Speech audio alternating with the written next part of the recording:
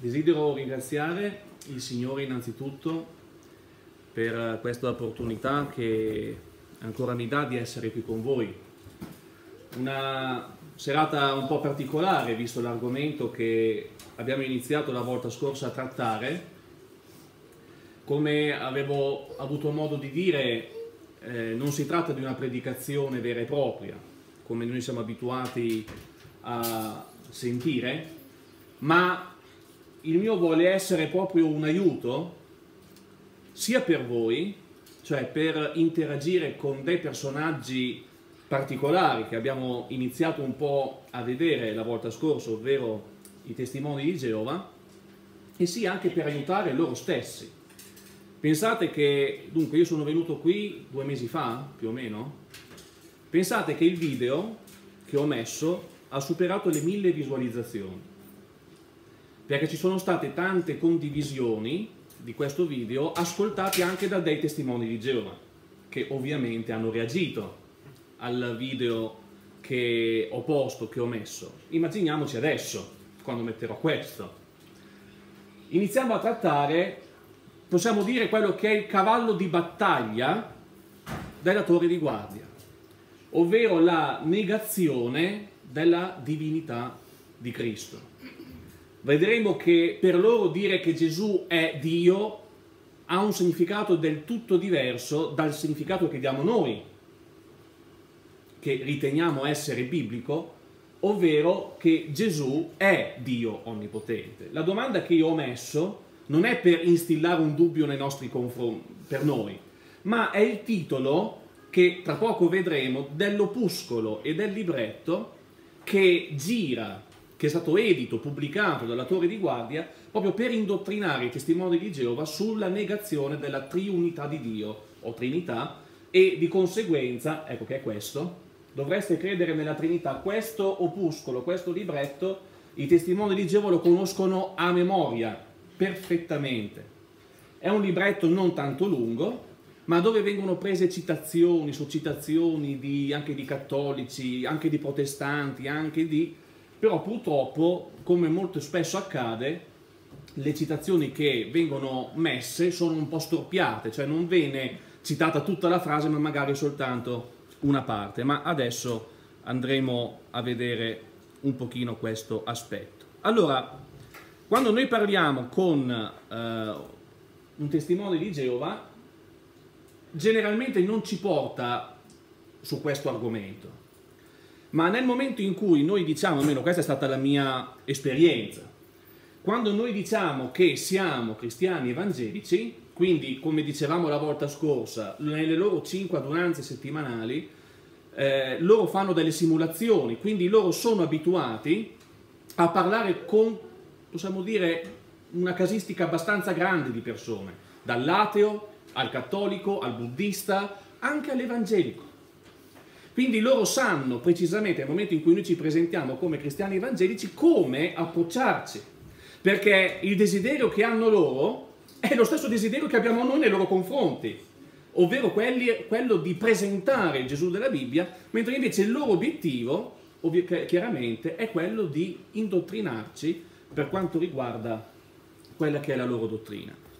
Naturalmente questo studio sulla divinità di Gesù, sebbene io l'abbia strutturata proprio su questo argomento riguardante i testimoni di Geova, il mio desiderio veramente è che il nostro cuore possa gioire mentre noi vedremo tutta una carrellata di passi, tutta una carrellata di versetti che ci presentano la grandezza di Gesù.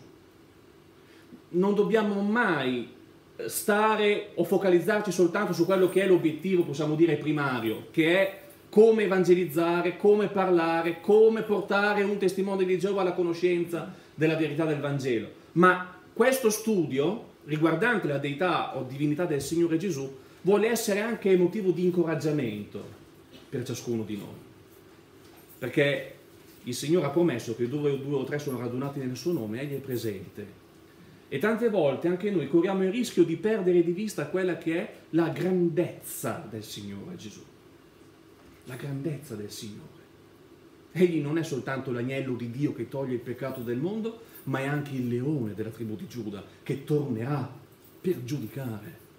Quindi noi dobbiamo sempre avere ben presente questo. Allora, un primo passo che noi siamo chiamati a fare per dimostrare, qui si parla proprio di dimostrazione biblica, in un termine un po' tecnico è apologetica. Cos'è l'apologetica? È la difesa della fede, cioè difendere ciò in cui credo, biblicamente parlando, da un punto di vista biblico. Abbiamo detto la volta scorsa che il testimone di Geova ha rispetto della Bibbia, crede nell'ineranza della Bibbia, crede anche nella letteralità della Bibbia, ma purtroppo, purtroppo ha una Bibbia che, come noi avremo modo di vedere non tanto oggi, ma eh, magari la prossima volta, tanti brani sono stati manipolati dalla torre di guardia. Qualcuno lo vedremo questa sera.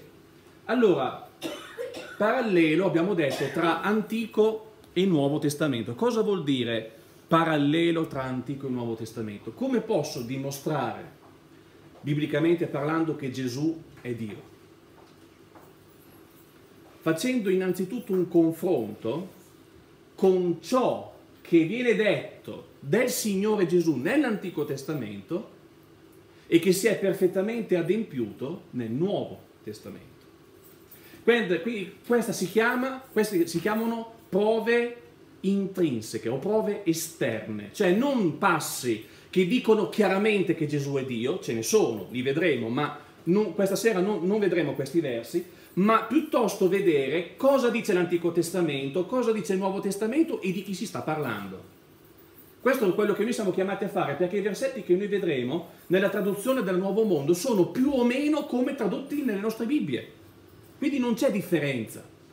E nel momento in cui noi portiamo a far ragionare un testimone di Gesù dicendogli ma di chi si parla qua? Come mai Gesù realizza quei brani dell'Antico Testamento? Allora, proprio per eh, risparmiare tempo, ho trascritto questi versi. Cerchiamo di focalizzarli, perché magari avere degli appunti, magari avere eh, un quaderno con scritti questi versi ci può aiutare. Allora, Isaia 43, 11. Io, io sono il Signore e fuori di me non c'è Salvatore. Nella traduzione del Nuovo Mondo al posto di Signore trovate Geova, non cambia tanto, cioè si potrebbe disquisire sul nome Geova se è, è, è giusto o sbagliato, ma non è questo l'argomento. Se noi avessimo, me lo sono dimenticato, la prossima volta ve la porto, la traduzione del Nuovo Mondo, c'è scritto io sono Geova e fuori di me non c'è Salvatore, uguale. Vedete che il Signore maiuscolo sta per Yahweh, ovvero il tetragramma ebraico che si trova sul codice di Leningrado, perché voi sapete che il codice di Leningrado, datato 1008-1008 d.C., è il manoscritto che viene preso dalle società bibliche odierne per tradurre l'Antico Testamento. Quindi quando si incontra il tetragramma YHWH, voi trovate nella nuova riveduta Signore in maiuscolo. Sono convinto che lo sapevate, ma è bene eh, eh, ricordare questo. Quindi di chi si sta parlando qua? Dell'Eterno. È l'Eterno, è Dio, è Geova, se ne parliamo con un testimone di Geova, è Geova che dice fuori di me non c'è Salvatore. Questo fuori di me non c'è Salvatore vuol dire che non c'è nessun altro che si può arrogare il diritto di definirsi Salvatore. Secondo brano, Isaia 45, capitolo 45 e versetto 21. Spero che riusciate a vedere là in fondo. Proclamatelo, fategli avvicinare, si consiglino pure assieme. Chi ha annunciato queste cose fin dai tempi antichi e le ha predette da lungo tempo? Non sono forse io il Signore? anche qui vedete il tetragramma, eh? fuori di me non c'è altro Dio, Dio giusto, e non c'è Salvatore fuori di me. Quindi vedete che viene specificato, sottolineata la stessa lezione, con l'aggiunta fuori di me non c'è Dio. E quindi per quale motivo Gesù viene chiamato, viene definito tale nel Nuovo Testamento, se fuori dell'Eterno non c'è altro Dio. Isaia 33, 22, poiché il Signore è il nostro giudice, il Signore è il nostro legislatore, il Signore, vedete per tre volte il tetragramma, quindi nella traduzione, nella TNM, traduzione Nuovo Mondo, trovereste Geova, Geova, Geova, è il nostro Re, egli è colui che ci salva. Quindi chi è l'autore della nostra salvezza? È l'Eterno. Stiamo a, questo, a questi brani, eh? È il Signore degli eserciti, è Geova. E nessun testimone di Geova può dire il contrario. Anche lui dirà, certo, Geova è il nostro Salvatore. Poi andiamo al Nuovo Testamento. Ecco qui la correlazione. Matteo capitolo 1 e versetto 21 nasce Gesù e a un certo punto leggiamo Matteo 1, 21, ella partorirà un figlio e tu gli porrai nome Gesù, perché è lui che salverà il suo popolo dai loro peccati.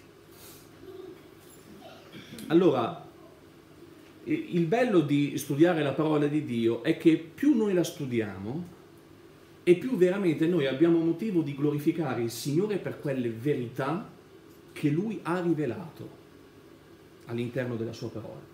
Per quale motivo l'angelo non dà un altro ordine? Lo chiamerai Ruben, lo chiamerai Efraim, lo chiamerai Giuseppe, lo chiamerai... No, Yeshua, Gesù.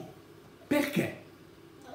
Per il significato che ha il nome Yehoshua o Gesù, ovvero Salvatore, che anche Giosuè, se vogliamo, no? ha questa radice. Ma il nome Giosuè, quando noi parliamo di Giosuè, il condottiero del popolo di Israele, non troviamo nessun versetto che ci sia scritto tu gli porrai il nome Giosuè perché sarà lui a salvare il popolo dai suoi peccati. C'erano altri Gesù nel popolo di Israele che si chiamavano così, non c'era soltanto il nostro Signore Gesù che si chiamava così, ce n'erano tanti. Nel libro degli Atti, ricordate, si parla di Bar Gesù, che è un altro Gesù, ma il nome nell'ottica della cultura ebraica indicava tantissime cose, tra cui il futuro di quel bambino o ciò che sarebbe diventato quel bambino. In questo caso Gesù non è che diventa Salvatore, è il Salvatore che è nato che è entrato nella scena mondiale, che è pronto a compiere l'opera che Dio Padre gli ha affidato. Sarà lui a salvare il suo popolo dai loro peccati. Ma cosa abbiamo letto prima? Fuori di me non c'è Salvatore. Allora, o c'è contraddizione nell'Antico Testamento, o Dio si è sbagliato, oppure c'è qualcosa che noi dobbiamo capire e dobbiamo comprendere. Gesù è Salvatore, ma Dio dice fuori di me non c'è Salvatore. E allora cosa Ci sono due Salvatori? Ci sono due Salvatori diversi, uno più grande e uno più piccolo? Non troviamo nessun versetto che, che fa questa differenza. Perché il figlio dell'uomo, e qui è proprio Gesù che parla, Luca capitolo 19 versetto 10, perché il figlio dell'uomo è venuto per cercare e salvare ciò che era perduto. Nessun uomo di Dio nemmeno quello più fedele. Possiamo contemplare Mosè, possiamo pensare ad Abramo, possiamo pensare a Giosuè, possiamo pensare a Davide. Nessuno poteva dire frasi così. Nessuno poteva dire io sono venuto per cercare e salvare ciò che era perduto. Io sono venuto per salvarti dai tuoi peccati. Nessuno lo poteva dire. Nessuno. E quando gli ebrei al tempo di Gesù ascoltavano queste parole, il loro cuore si adirava il loro cuore ribolliva di sangue perché dicevano ma chi pensa di essere questo qua?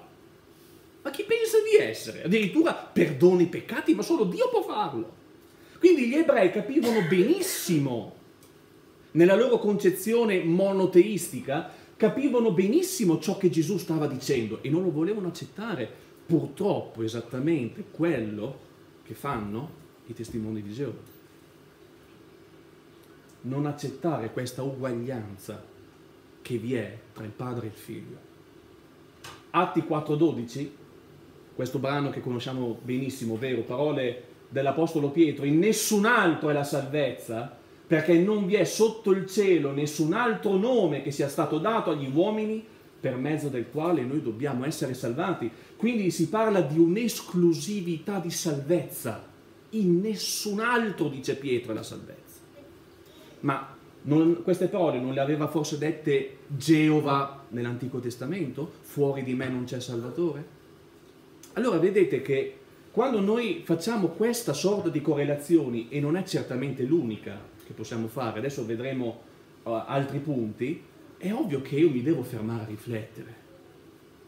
Se io ho a che fare con una persona che è aperta, una persona che è alla ricerca veramente della verità, non potrà fare a meno di riflettere. E per quanto riguarda noi, noi possiamo gioire per questa correlazione tra il padre e il figlio. È Salvatore uno e Salvatore l'altro, uguale. Non c'è differenza del più grande o del più piccolo, uguale. Quindi in questi brani cosa abbiamo visto? L'unicità di Dio come Salvatore, l'esclusività di Dio come Salvatore, fuori di me non c'è Salvatore, Gesù è visto come Salvatore del mondo e non esiste altro nome fuorché quello di Cristo per essere salvati. Possiamo procedere? Dio e Gesù hanno lo stesso appellativo di Redentore. Quindi non soltanto Salvatore, ma anche Redentore. Isaia capitolo 52, versetto 9. L'Eterno redime Gerusalemme. Isaia 1,27. Sion sarà redenta mediante la rettitudine e quelli che in lei si convertiranno saranno redenti mediante la giustizia. Luca capitolo 2, versetto 37. Qui abbiamo un bellissimo esempio di Anna, no? la profetessa, che è scritto non si partiva mai dal Tempio, servendo Dio notte e giorno con digiuni e preghiere, ma quando sopraggiunse e vide il bambino Gesù, si mise a lodare Dio anche lei e parlava del bambino a tutti quelli che aspettavano la redenzione di Gerusalemme. Io non so, fratelli e sorelle, qui apro e chiudo parentesi, se avete mai fatto uno studio sulle donne della Bibbia. Io ve lo consiglio perché non ci sono soltanto gli uomini di Dio, ci sono anche le donne di Dio eh, nella Bibbia. E una di esse è proprio questa donna. Guardate che cosa dice questa, cosa dice Anna. Parlava a tutti quando vide quel bambino. Parlava a tutti quelli che aspettavano la redenzione a Gerusalemme. È arrivato il Redentore. È arrivato, finalmente è arrivato. E il Signore usa questa donna come testimone esattamente come più avanti Gesù userà le donne per testimoniare della sua risurrezione. È interessante vedere come Dio si è servito anche delle, di certe donne per trasmettere il suo messaggio, perché pure lei credette che Gesù era colui che avrebbe redento gli abitanti di Gerusalemme. Ma Isaia 52 cosa dice? Geova redime Gerusalemme. È Geova che, che, che redime la sua città. E Gesù perché è il redentore di Gerusalemme? Per quale motivo? Come si fa a negare questa uguaglianza? Isaia 52, versetto 3, poiché così parla l'Eterno, voi siete stati venduti per nulla e sarete riscattati senza denaro. È vero, fratelli e sorelle, il nostro riscatto non è avvenuto, dirà Pietro, mediante oro e argento, ma mediante il prezioso sangue di Cristo. Noi siamo stati riscattati grazie a Lui, è Lui che è andato sulla croce. Proprio eh, ieri è venuto il parroco del nostro paese per benedire la casa, ovviamente eh, abbiamo rifiutato, e sono stato a parlare un'ora con questo sacerdote. E quando lui eh, cercava di, di portarmi, di, di, portare il discorso su Maria, gli ho detto, Donnando, si chiama Donnando, un signore anche molto affabile, molto... ma sulla croce chi c'è andato? Ma c'è andata Maria sulla croce. Ma è stata Maria che ci ha salvato dai nostri peccati. È stata Maria che ha versato il suo sangue, con tutto il rispetto e l'amore che posso avere per questo esempio di fede. C'è andato Cristo. Lui c'è andato sulla croce. È come se io andassi da, eh, da un chirurgo, ho un brutto male, però dico no, io voglio farmi operare da tua mamma e che non ha mai studiato medicina. Sarei un folle, sarei un pazzo, ma vado da chi ha studiato medicina, no? Anche se è il figlio. Così il Signore Gesù è Lui che è nato sulla croce. Fratelli e sorelle, ricordiamoci di queste verità, che corriamo il rischio magari di dare troppo per scontate e che noi, vedete, dimentichiamo. Il salmista nel Salmo 107 dice, celebrate l'Eterno, poiché Egli è buono, perché la sua benignità dura in eterno. Così dicono i riscattati dall'Eterno, i riscattati dall'Eterno, che Egli ha riscattato dalla mano dell'avversario. È ovvio che qua si parla nel contesto della liberazione dai propri nemici, dai nemici del popolo di Israele. Ma vedete come l'Antico Testamento confluisce l'opera della redenzione all'Eterno. È Lui l'autore della redenzione. È Lui l'autore della liberazione sotto tutti i punti di vista. Ma che cosa dice l'Apostolo Paolo a Tito? Tito 2,14 ha dato se stesso per noi al fine di riscattarci da ogni iniquità. Non dice il Padre ha dato se stesso. Fratelli e sorelle, tante volte nelle preghiere, personalmente io ho sentito questo, Padre ti ringrazio perché sei morto sulla croce. Dove sta scritto questo? È il figlio che è morto sulla croce, non il padre. Dobbiamo stare attenti anche come noi ci esprimiamo, eh? perché padre e figlio sono due persone distinte, eh? non sono la stessa persona, sono due persone distinte ugualmente Dio, ugualmente perfetti in tutti i loro attributi. Non possiamo capire questo, ma eh, rimane il fatto che sulla croce c'è nato il figlio. Nell'autore della lettera agli ebrei è il figlio che dice tu, eh, tu mi hai preparato un corpo, tu chi? Un angelo? L'arcangelo Michele? No, tu padre mi hai preparato un corpo per incarnarmi, per farmi uomo e per morire per dei criminali quali noi eravamo. Dobbiamo stare attenti anche come noi ci esprimiamo. Galati capitolo 3 versetto 13, Paolo dice, Cristo ci ha riscattati dalla maledizione della legge, essendo divenuto maledizione per noi. È Lui che ci ha riscattato. E l'Antico Testamento dice l'eterno riscatto.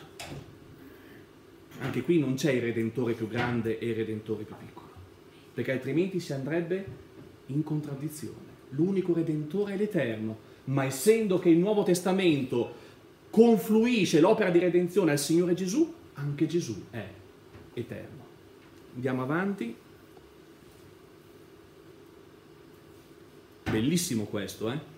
Dio e Gesù, Dio qua intendo il Padre naturalmente, Dio Padre e Gesù, sono entrambi portatori di speranza e sono identificati in essa. È molto bello questo. Dio non è soltanto colui che dà speranza, Dio è la speranza. E la stessa cosa il Signore Gesù. Guardate che cosa dice il salmista. Tu sei la mia speranza, o Signore, o Eterno. Quindi qui il salmista si sta rivolgendo a Yahweh a Dio e lo chiama mia speranza. Vedete, c'è questa identificazione della speranza in una persona che è il Signore. Ma anche in Geremia 17 leggiamo speranza di Israele, o Eterno, tutti quelli che ti abbandonano saranno confusi perché hanno abbandonato l'Eterno.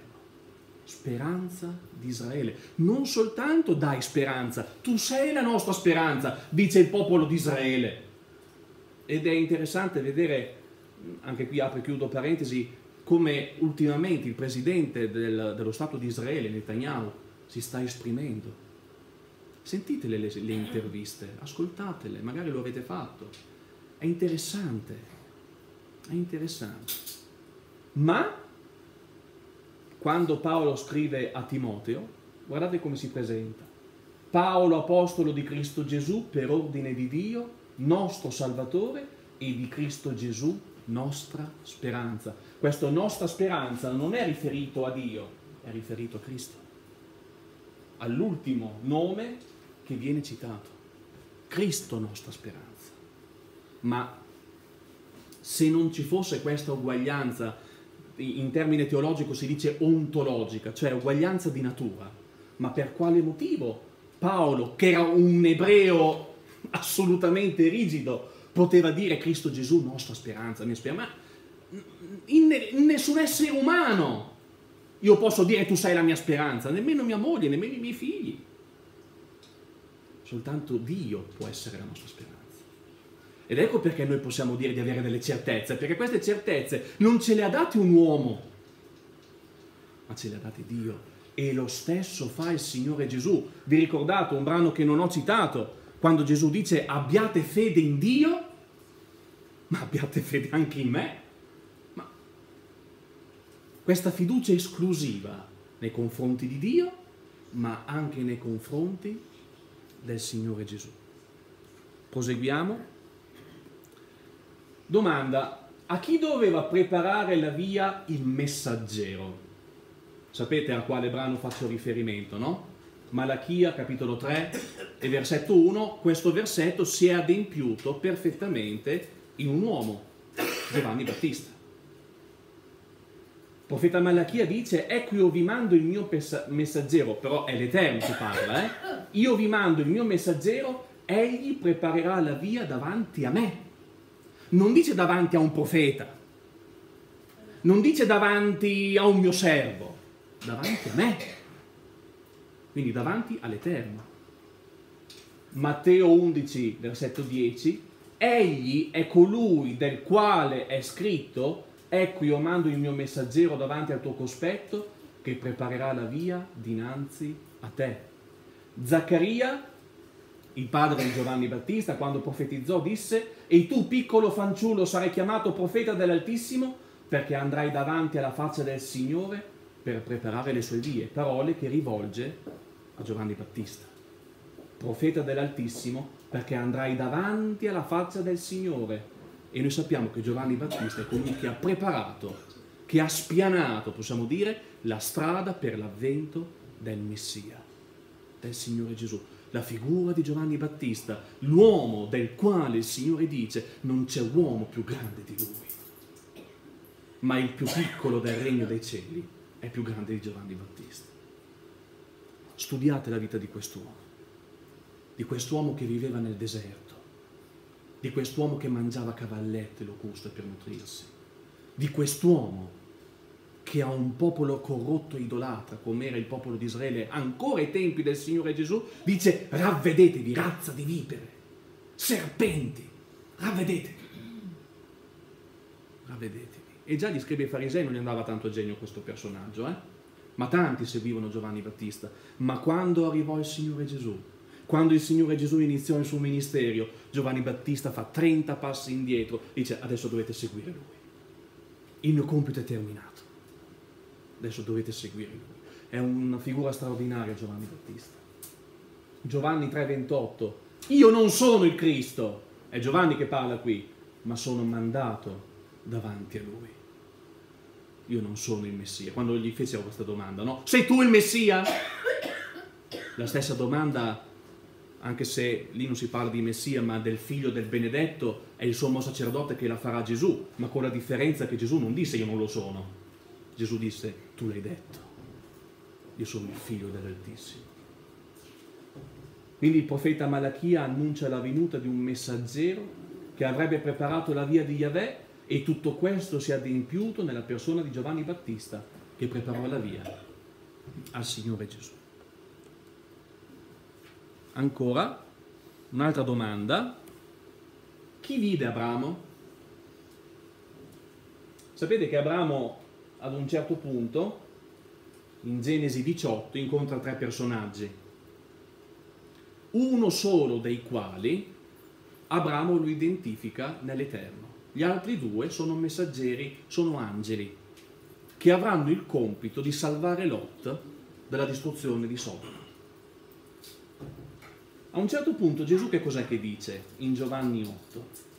Abramo vostro padre ha giubilato nella speranza di vedere il mio giorno e l'ha visto e se n'è rallegrato. Al che i giudei gli dissero, tu non hai ancora 50 anni e hai visto Abramo?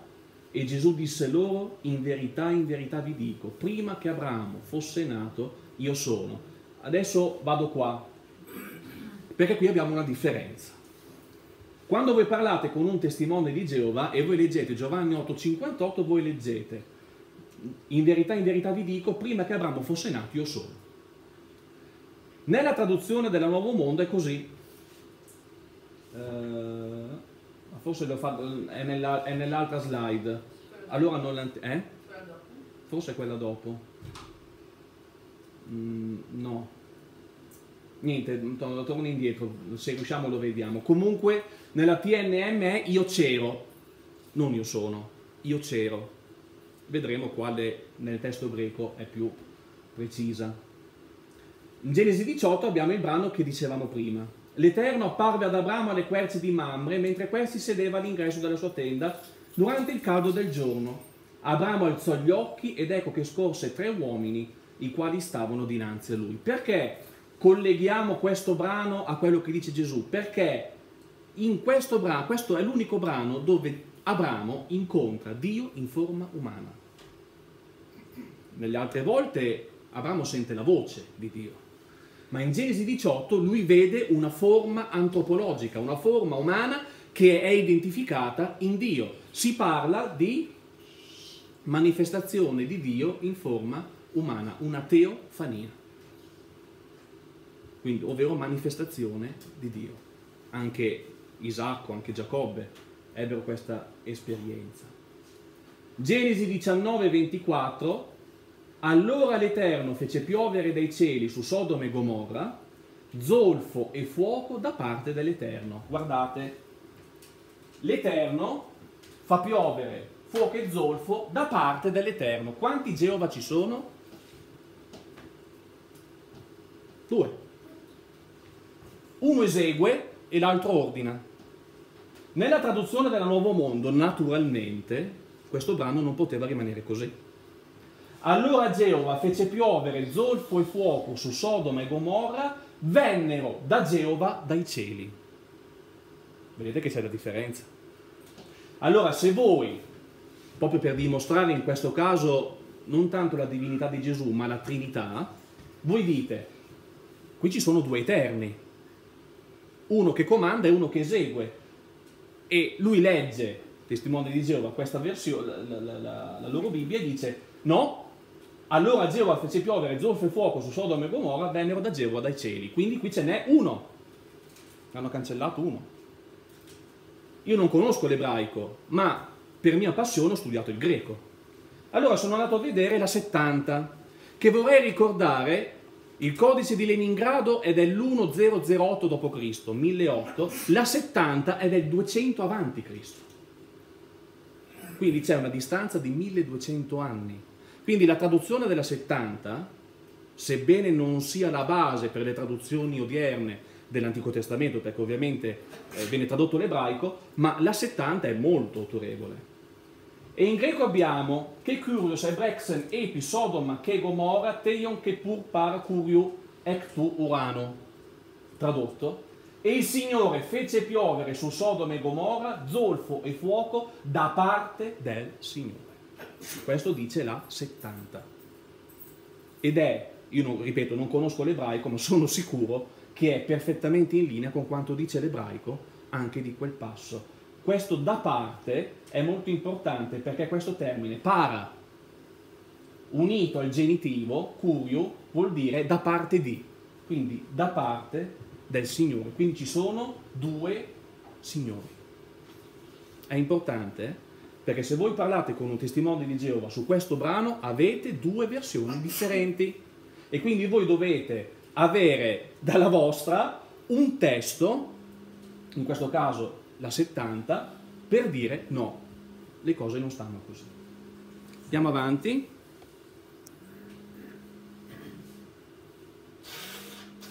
Dio e Gesù, ripeto, qui per Dio intendo sempre il Padre, Dio e Gesù sono chiamati Signore dei Signori.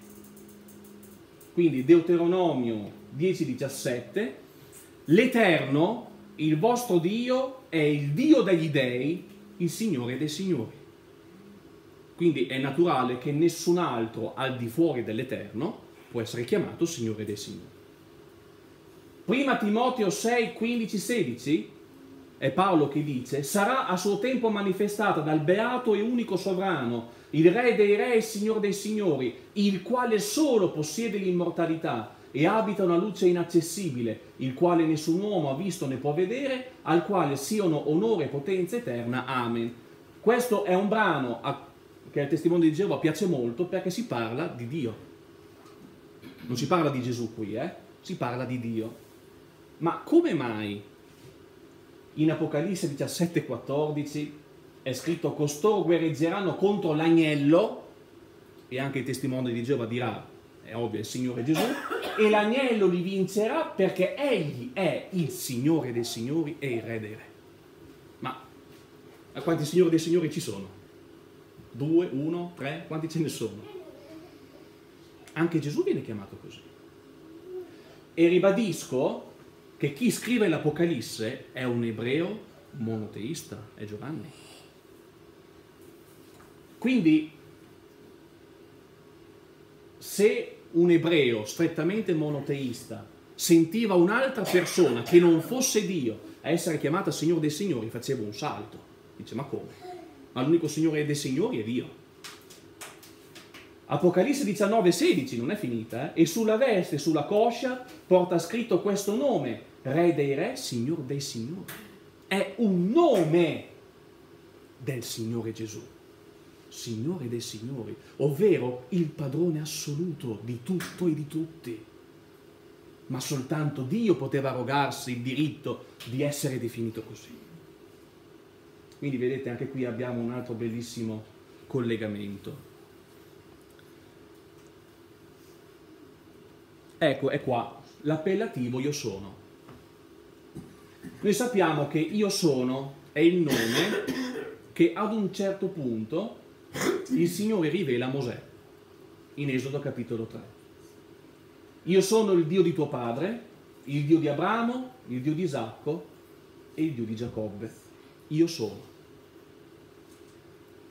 In Marco capitolo 12, versetto 26, è scritto, quanto poi ai morti alla loro risurrezione, non avete voi letto nel libro di Mosè, nel passo del pruno, come Dio gli parlò dicendo, io sono il Dio di Abramo, il Dio di Isacco e il Dio di Giacobbe? Quindi ancora, io sono. Esodo 3,14, io sono colui che sono. E anche, direi così ai figli di Israele, io sono, mi ha mandato a voi. Ovvero Mosè nel tornare in Egitto, quindi andando in mezzo al popolo di Israele, doveva dire questo è il nome di Dio, io sono, Yahweh, il tetragramma, è lui che mi ha mandato. E noi sappiamo che inizialmente il popolo di Israele rifiutò Mosè, non credette in lui. Ma in Giovanni 8,58, brano che abbiamo letto prima, Gesù dice, in verità, in verità vi dico, prima che Abramo fosse nato, io sono. Questa è la traduzione del Nuovo Mondo. Quindi, quando vi parlate con un testimone di Geova, lui vi leggerà questo verso. In verità, sì, in verità vi dico, prima che Abramo nascesse, io c'ero. Capite che è diverso? Allora, qui abbiamo un tempo presente, qui abbiamo un tempo al passato. Io c'ero. Testo greco, non ve lo leggo, vi leggo la traduzione letterale. Disse a loro, in verità, in verità vi dico, prima che Abramo esistesse, io sono. Ego, emi. Se uno studente del ginnasio, prima superiore, traducesse ego emi con io c'ero, gli danno due. Gli danno due. Perché non è possibile che io, tradu- che io possa tradurre ego eimi, salvo rarissime eccezioni dove si parla del presente storico, nella grammatica greca, con io c'ero. In questo caso, perché così mh, mm, pericoloso per l'attore di guardia questo brano? Perché questo ego eimi è, è in contrapposizione a genestai, ovvero esistere. Verbo ginomai in greco vuol dire esistere e qui abbiamo un tempo al passato, prima che Abramo esistesse. Io sono. È qui la contrapposizione. Ed è qui dove praticamente gli ebrei, nell'ascoltare queste parole, lo volevano ammazzare il Signore. Lo volevano ammazzare. Perché lui qua si sta autodefinendo io sono. Andiamo avanti. Vado verso la conclusione perché non è che voglio adesso fare tutto, perché ci sono veramente tantissime cose. A Dio e al Signore Gesù appartiene la gloria. Salmo 24, questo brano che conosciamo tutti benissimo, che lo cantiamo anche, cantiamo anche queste parole. O porte, alzate i vostri capi, alzatevi o porte eterne, e il Re di gloria entrerà. Chi è questo Re di gloria? È l'Eterno degli eserciti, egli è il Re di gloria. Quindi chi è il Re di gloria? L'Eterno degli eserciti. Non ci vuole tanto per capirlo, eh? Basta leggere. L'Eterno degli eserciti è il Re di gloria. E allora come mai Paolo in 1 Corinzi 2 dice non avrebbero crocifisso il Signore della gloria? E qui la, la TNM non ha modificato tanto perché ha messo il Signore glorioso, più o meno ci siamo. Il Signore della gloria. Ma quanti signori della gloria ci sono qua? Per non parlare di quello che, che non l'ho messo, per non parlare di quello che Gesù dirà in Giovanni 17. Padre, glorificami della gloria che avevo presso di te prima che il mondo fosse. Ma non è forse l'Eterno degli eserciti l'unico re di gloria? Quanti ce ne sono? Come può una, un angelo come loro pensano che sia Gesù prima della, della, sua incarnazione, ovvero l'arcangelo Michele. Come può essere l'arcangelo Michele il Signore della gloria? Non è possibile.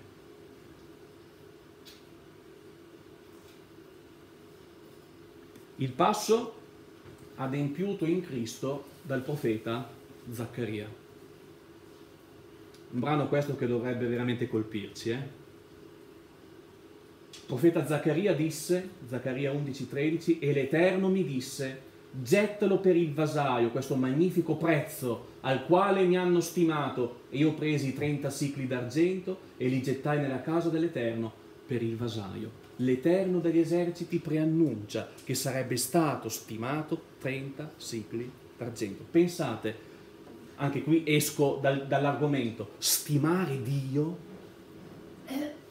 il prezzo di uno schiavo. 30 sigli. Sappiamo il quale personaggio tutte queste parole si sono adempiute. Matteo 26, 15, che mi volete dare? Io ve lo consegnerò, qui è Giuda che parla, ed essi gli contarono 30 sicli d'argento. Più avanti, presero i 30 sicli d'argento, prezzo di colui che era stato messo a prezzo, messo a prezzo dai figli di Israele, e li dettero per il campo del rosario. Allora, a un testimone di Geova gli chiediamo chi è che deve essere stimato 30 sicli d'argento? L'Eterno. E chi fu stimato nel Nuovo Testamento 30 sicli d'argento adempiendo quella profezia? La risposta è solo il Signore Gesù.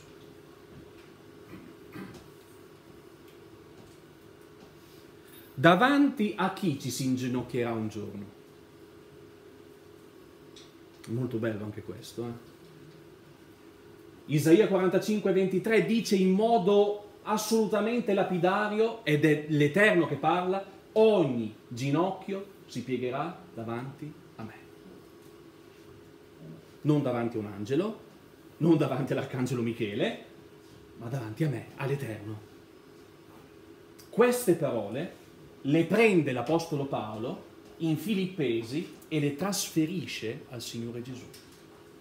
Ed è perciò che Dio lo ha sovranamente innalzato e gli ha dato il nome che è al di sopra di ogni nome, affinché nel nome di Gesù si pieghi ogni ginocchio nei cieli, sulla terra e sotto la terra. Continua alla gloria di Dio Padre. Testimone di Geova con cui ho parlato, loro mi hanno detto, sì, però l'obiettivo è glorificare Dio Padre. Ma questo brano, ogni ginocchio si piegherà davanti a me, viene realizzato in Cristo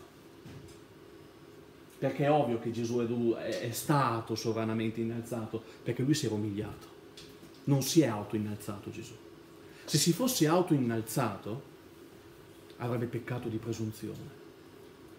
Invece ha lasciato che fosse Dio a innalzarlo, in un modo sovrano, non vi, non vi dico com'è qui in greco, che è un superlativo assoluto, vuol dire esaltato che non si può neanche immaginare.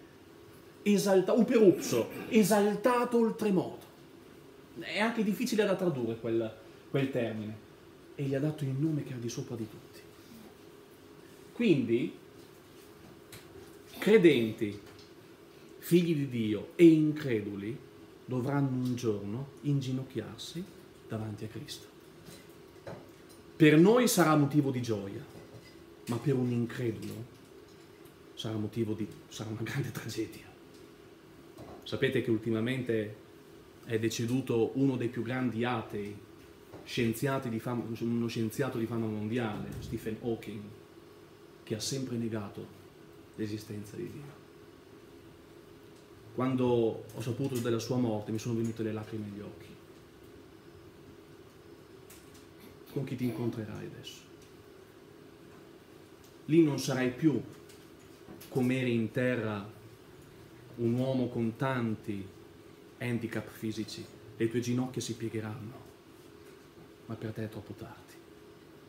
E questo vale per tutti quelli che hanno preferito le tenebre alla luce ma le tue ginocchia dovranno piegarsi davanti al Supremo, davanti all'Imperatore Celeste. Tu ti dovrai inginocchiare. Per me che mi inginocchierò sarà motivo di tripudio, per te motivo di pianto, per te è troppo tardi.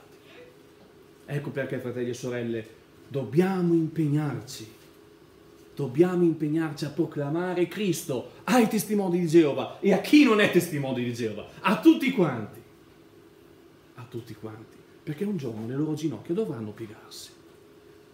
Ma se non c'è ravvedimento, se non c'è conversione, se non c'è nuova nascita, sarà purtroppo troppo tardi. Guardiamo l'ultima slide. No, no, no, è, no, è l'ultima però per, per oggi. No, perché sono già quasi 50 minuti che parlo. Allora, Dio e Gesù hanno lo stesso attributo di pastore. Isaia 40, versetto 9 e 11, Dì alle città di Giuda, ecco il vostro Dio. Come un pastore egli pascerà il suo gregge, raccoglierà gli agnelli in braccio, se li, to- se li torrà in seno e condurrà pian piano le pecore che allattano. Qui, in Isaia 40, Dio viene identificato come il pastore che si prende la pecora e se la mette sulle spalle. Non vi fa venire in mente niente questa immagine? Chi è l'unico nel Nuovo Testamento che poteva dire io sono il buon pastore e do la mia vita per le mie pecore? E non soltanto nel Nuovo Testamento, ma anche in Michea 5, che è un brano messianico, che cosa dice il Signore? Ma da te, o Betlemme Efrata, piccola per essere fra i migliaia di Giuda, da te ne uscirà colui che sarà dominatore in Israele, le cui origini risalgono ai tempi antichi, ai giorni eterni egli starà là e pascerà il suo gregge con la forza dell'Eterno, con la maestà del nome dell'Eterno, del suo Dio. Io sono il buon pastore. Giovanni 10. Pietro dice, Pietro lo, lo definisce pastore e vescovo delle anime nostre e sommo pastore in 1 Pietro 5, 4, ovvero lo stesso attributo che nell'Antico Testamento è rivolto a Dio. Stiamo parlando non di gentili, eh? stiamo parlando di ebrei, strettamente monoteisti, che conoscevano perfettamente lo Shema ebraico. Qual è lo Shema ebraico? Ascolta, Shema, ascolta Israele, il Signore è l'unico Dio. Questo era, viene chiamato lo Shema del, del popolo di Israele. Ascolta Israele, il Signore è l'unico Dio ed è l'unico che può definirsi pastore anche. Come mai Gesù si arroga il diritto di dire io sono il buon pastore? Perché evidentemente è esattamente Dio come lo è Dio Padre. Fratelli e sorelle, mi fermo qua. Ma vedete quanta carne al fuoco c'è? E non ho finito, eh? Perché ci sono altri attributi che vengono indicati per Dio e vengono indicati ugualmente per il Signore Gesù.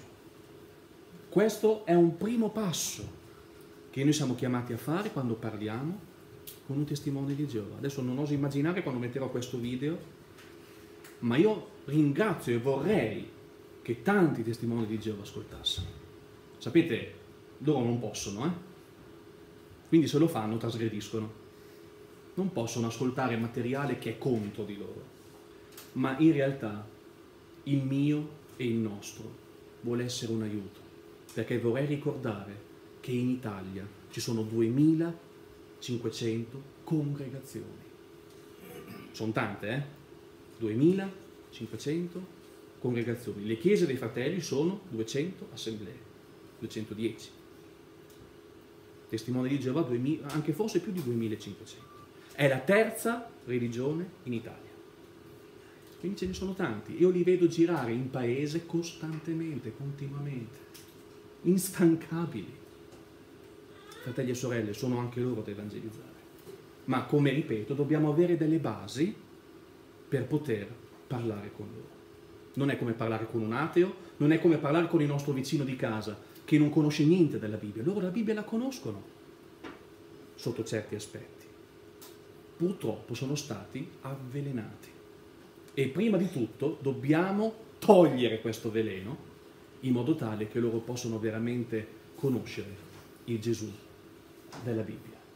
Bene, fratelli e sorelle, io vi voglio ringraziare sempre per la pazienza che mi mostrate, per l'affetto che mi mostrate e se il Signore vorrà la prossima volta proseguiremo iniziando a vedere un po' più da vicino quei versetti manipolati, adulterati nella traduzione del Nuovo Mondo. E sono versetti importanti perché sono versetti dove in modo esplicito viene detto che Gesù è Dio. Ok? Quindi vi ringrazio, al Signore vada la gloria e ricordiamoci questo studio anche per il nostro bene. Ricordarci che Gesù è il Supremo, è il Signore dei Signori che ha promesso che tornerà. Amen.